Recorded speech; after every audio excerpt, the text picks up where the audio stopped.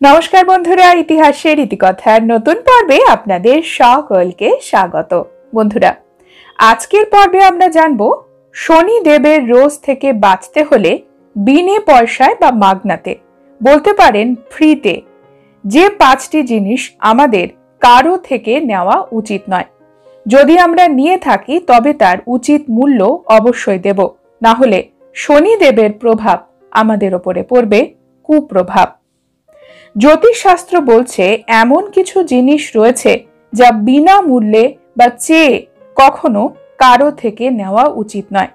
যদি আমরা সেই জিনিস কারও থেকে নিই, তবে শনিদেব যখন রাশি পরিবর্তন করবেন, তখন সেই কর্মের ফল আমাদের দেবেন। শনিদেব হলেন ন্যায়দাতা, তিনি কর্ম অনুযায়ী ফল দেন। এমন কিছু জিনিস রয়েছে, আমাদের সনাতন ধর্মের জ্যোতিষশাস্ত্র বলছে যে জিনিসগুলি মাগনাতে নিলে শনিদেব রেগে যান এবং শনিদেবের রোষ আমাদের ওপরে পড়ে। শনিদেবের রোষে আমাদের জীবনে নানান ধরনের খারাপ ঘটনা ঘটতে দেখা যায়। যেমন, রোগ, শোক, অর্থনৈতিকভাবে ব্যাপক ক্ষতি, পারিবারিক অশান্তি, কলহ, বিভিন্ন ধরনের সমস্যা দারিদ্র যোগ। তাই বন্ধুরা, আপনারা আজকের পরে এই কাজ করবেন না। জ্যোতিষশাস্ত্র বলছে, তেল, বিশেষ করে সর্ষার তেল, কখনো বিনামূল্যে বা মাগনাতে কারও থেকে চেয়ে নিয়ে ব্যবহার করা উচিত নয়। এতে শনিদেবের অশুভ দৃষ্টি আমাদের ওপরে পড়ে। শনিবারে শনিদেবের পুজোতে সর্ষের তেলের প্রদীপ অবশ্যই জ্বালাবেন। এতে শনিদেব সন্তুষ্ট হন। তাই বলে বিনামূল্যে বা মাগনাতে কখনোই সর্ষের তেল চেয়ে ব্যবহার করবেন না।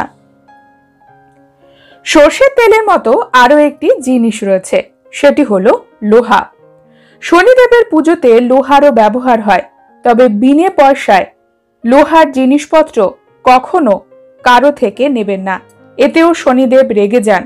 এতে আপনার সংসারে অর্থনৈতিক অবস্থার অবনতি দেখা দিতে পারে দারিদ্র যোগ আসতে পারে প্রচুর পরিমাণে আর্থিক ক্ষতি হতে পারে আপনার সংসারে। তাই লোহার জিনিসপত্র আপনারা কখনো কারও থেকে চেয়ে নেবেন না। যদিও নিয়ে থাকেন, তার উচিত মূল্য তাকে অবশ্যই দেবেন। সেই সঙ্গে শনিবারে লোহার জিনিসপত্র কিনবেনও না, বেচবেনও না। এতেও শনিদেব কুপিত হন। মাগনায় কাজ করিয়ে নেবেন না কাউকে দিয়ে। মাগনায় বা বিনে পয়সায় কারও শ্রম নেবেন না। কাউকে খাটাবেন না, এতেও শনিদেব অসন্তুষ্ট হন। বিনামূল্যে কাউকে কাজ করিয়ে নিলে শনিদেবের রোষ আমাদের ওপরে পড়বে। সেই ব্যক্তি যে কাজ করছে তার দাম অবশ্যই দেবেন। টাকা পয়সা দিয়ে যদি দাম না দিতে পারেন, তবে অন্য কোনোভাবে সেই ব্যক্তির ঋণ অবশ্যই শোধ করবেন। বিনে পয়সায় কাউকে খাটাতে নেই, এতে শনিদেব অত্যন্ত কুপিত হন। ডাল যে কোনো ধরনের ডাল কখনো চেয়ে ব্যবহার করবেন না, বিনামূল্যে খাওয়ার চেষ্টা করবেন না। সেই ডালের উচিত মূল্য অবশ্যই দেবেন। যদি আপনার ঘরে ডাল না থাকে, আপনি প্রতিবেশীর থেকে ডাল নিয়ে থাকেন, তবে সেই ডাল আপনি যখন কিনবেন, সেই প্রতিবেশীকে অবশ্যই ফেরত দেবেন। এটি না করলে শনিদেব অখুশি হয়ে থাকেন। আরও একটি জিনিস রয়েছে, সেটি হলো তিল।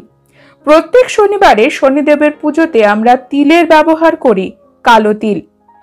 তবে সেই তিল কখনো বিনামূল্যে কারও থেকে চেয়ে নেবেন না। এতেও শনিদেব রুষ্ট হন এবং শনিদেবের নেতিবাচক দৃষ্টি আমাদের ওপরে পড়ে। এর প্রভাব অত্যন্ত ভয়াবহ হয়। তিল কখনো বিনামূল্যে নেওয়া উচিত নয়।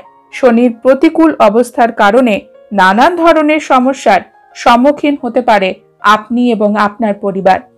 বন্ধুরা, আজকের পর্ব এখানে শেষ করছি। পরবর্তী পর্বে নতুন একটি বিষয় নিয়ে আপনাদের সঙ্গে কথা হবে।